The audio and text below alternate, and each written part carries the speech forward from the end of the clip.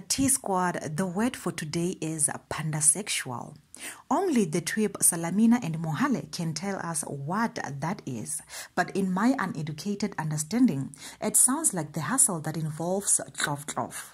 Mohale has always been congratulated, envied, or accused of hustling into his husband's pockets from the beginning.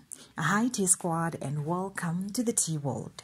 The gay couple were rumored to have split because Mohale cheated with a married man.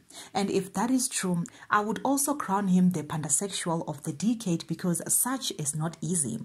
Apart from his move to marry Somizi Mhlongo, of which I still believe was genuine, Mohale will obviously be expected to live with some money from their divorce, depending on their marriage arrangement.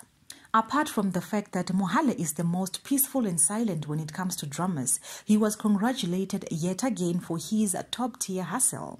This is what the tweet said. Dear Mohale Motaung, whatever is happening right now, and we both know what's really going on, just know that you had to Dalafat Yemut. Your hustle is inspiring.